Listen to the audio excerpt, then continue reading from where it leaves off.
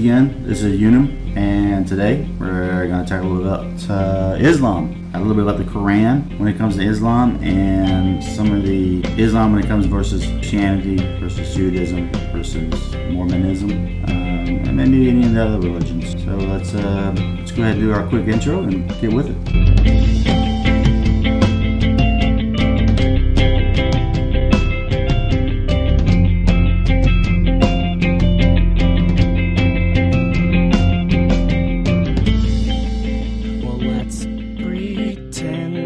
That it'll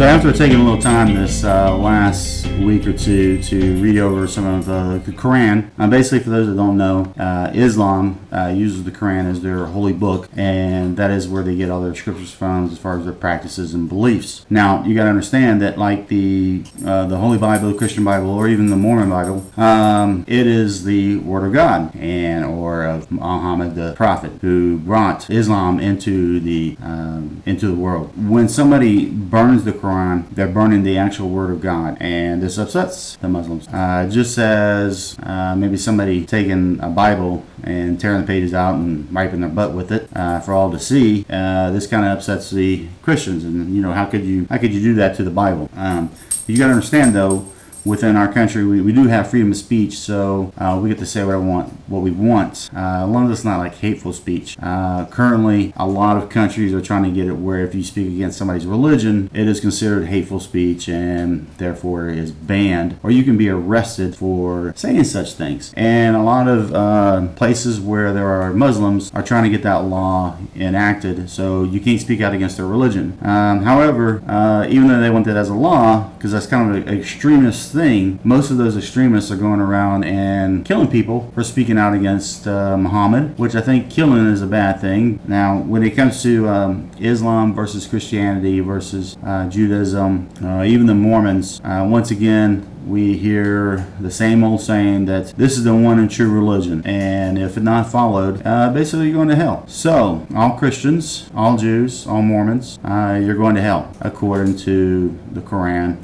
according to Allah, according to Muhammad. Do I believe that the Quran is the uh, actual word of uh, a God? No. Those that are Christian, Jews, maybe even Mormons, um, you're supposed to pay a higher tax. Basically, you get to hold on to your belief. However, you should be uh, penalized with a higher tax. Pagans sorry dudes uh, either you convert or you get your head chopped off. Would uh, would a christian or a jew or a mormon be put to death? Well of course after a while you're going to see that where people are going to be uh, say that you own a business and they're not going to be buying from you. You probably be uh, your place will probably be torched. Um, just kind of imagine what it was like for the Jews during World War II. Basically, uh, everybody would have to wear a certain mark on them to identify what religion they were part of. So when you went in to go pay for something, you would pay a higher tax. And of course, uh, if we did it like the IRS here in the States, uh, every year when it came around tax time, you would pay a, a higher percentage than everybody else. So basically, you would be in tax to a point where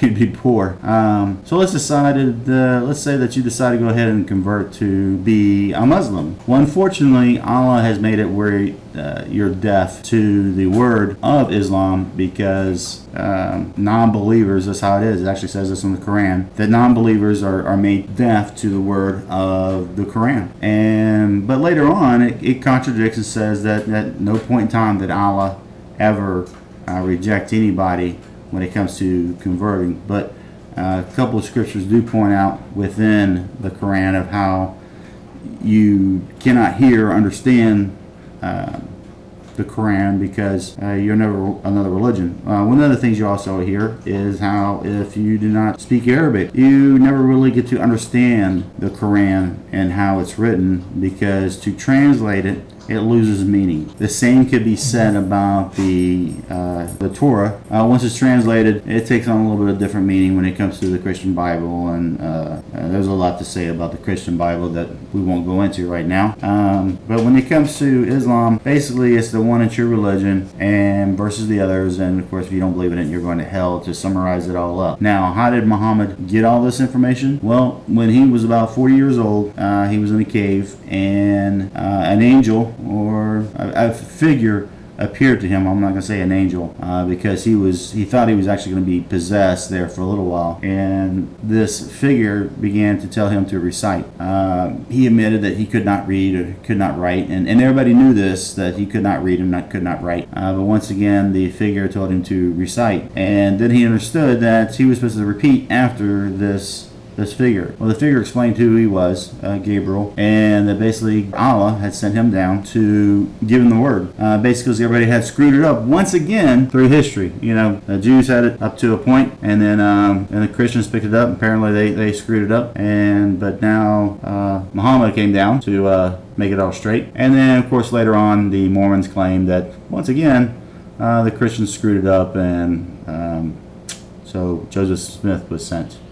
Let's go back to Islam. Within each religion, you have your extremists, okay? And that's what we see a lot on TV when it comes to the extremists. Uh, and there are even some that are uh, kind of moderate, like in the middle. But you know, once you get a crowd together and everybody gets all riled up, uh, you got uh, pretty much a riot on your hands, and, and everybody's going to be, you know, death to America, death to Americans, and things like that. Treat others the way that you want to be treated.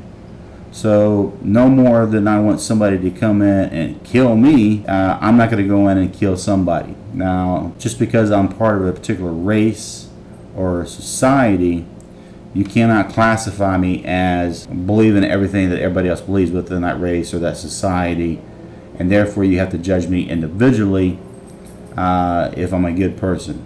Just because I don't believe in your faith, or maybe I speak out against your faith, does not mean that I'm, I'm a bad person.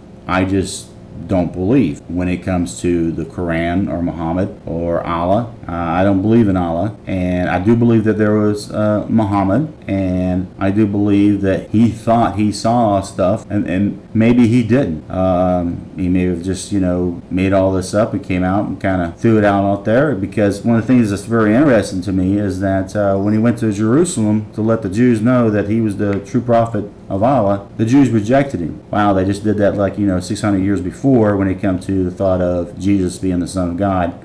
So they rejected. Uh, Muhammad came up with the idea, or maybe Gabriel told him, or maybe Allah told him through Gabriel that hey, from now on, you run into some Jews, go ahead and uh, and, and kill them. And so that's what they did. Uh, when they would they would ambush uh, Jews, and what they do is uh, capture them, and of course they take all the women and children for themselves and behead the the men. You always want to get rid of the men. And you to keep the virgin women and stuff like that for yourself. Hey, Christians did the same thing too, so I guess you're good in that area also. So, in case you didn't understand what I was trying to tie together there, is that at one point this was Muhammad's mission. He was to go in, let the Jews know that uh, a true prophet was here from from Allah, from God, and was here to uh, preach the word. But uh, the Jews rejected him. So his tone totally changed to, okay, I'm here to I'm here to preach the word to you. I'm representing God. And the Jews are like, no, we don't believe you. Go away, go away. And he's like, no, no, I'm, I'm really, really, I am, I am. And they're like, no, no, go away, go away. They're throwing shoes or whatever they throw. And so uh, his tone takes a 180 and 180 and decides to, uh, hey, uh, either he decided that you're supposed to kill off Jews or Gabriel told him that Allah wants him to do this because the way the Jews were acting, that he was totally done with them, that they're no longer the chosen ones, which I think is the original uh, context of the where uh, the Muslims draw their faith from is from the Old Testament also, just kind of like Christianity using the Old Testament. Uh, I do believe the Muslims used a little bit of the Torah. Yeah, they just told a little bit of a different story that uh, taking the word God out and putting in Allah and changed things around that, that favor the Muslim faith. So uh, Alicia, I do believe is how you say her name, uh, the six-year-old that married Muhammad. Now, there's a big controversy over this because she's six and was married off to Muhammad. Um, and then once she turned nine, uh, they had sex. So how can anybody that you know sees this wedding of a 50 year old guy and a six year old uh, have any problem with it? I mean, come on, you know that's that's love. That's true love right there. I mean, and and, the honor of being with a, a prophet. Uh, and, and he waited till he was 53 before he went ahead and had sex with her. Uh, so, you know, what a joyous day that must have been for her to actually finally, after maybe three years of, of bugging him to, you know, let's go ahead and get this marriage official, that, uh, you know, he finally gave in. I mean, he must have fought hard to go against this. And I bet you he had to be talking to Gabriel and Allah every night, and they were probably giving him hell, you know, about not even doing anything with this marriage. And, you know, he probably fought it for like three years, trying to tell him, "Hey, Allah, Gabriel, this is not a good idea. This is a six-year-old, and pretty like a year later, it's a seven-year-old, and you know, hey, come on, guys, this is it's an eight-year-old, and then you know, at nine years, he goes ahead and uh, makes the marriage official. Uh, I mean, he, he probably was getting it from her, Gabriel, and Allah, all of them just bugging him and egging him on, but he stayed, you know, strong against uh, the whole ideal of it uh, until, you know, he just broke down and couldn't take it anymore and just went ahead and made the marriage official. And uh, she was his favorite wife. And, you know, 53 years old, nine year old. Yeah, like, you know, you see it in the news all the time. 18 year old marries some 60 year old 65 year old billionaire. So it's, uh, it's pretty common for that age difference right there. Um, yeah, it's common. It happens so much. And so, totally off note and everything like that. Uh, just uh, because I put uh, Catholic schoolboys in my search for when it comes to videos. Uh, any of the pedophiles out there, um, I, I, don't totally uh, agree with you in any way, shape, or form, but uh, uh, there's a particular religion I have in mind that you might be accepted in. Uh, actually, two of them. Uh, one of them, you get to be a priest, which, uh, you know, that's Catholics. And the other one, you and could be in the whole religion and society itself and be accepted. You know, you just, what would Muhammad do? You know, marry the nine year old and he would have as many wives as he wanted. And, you'd be accepted, you'd be good to go. So, uh, so long.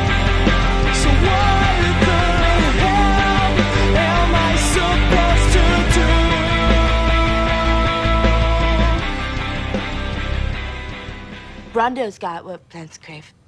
Yeah, it's got electrolytes. What are electrolytes? Do you even know? It's what they use to make Brawndo. Yeah, but why did they use them to make Brawndo?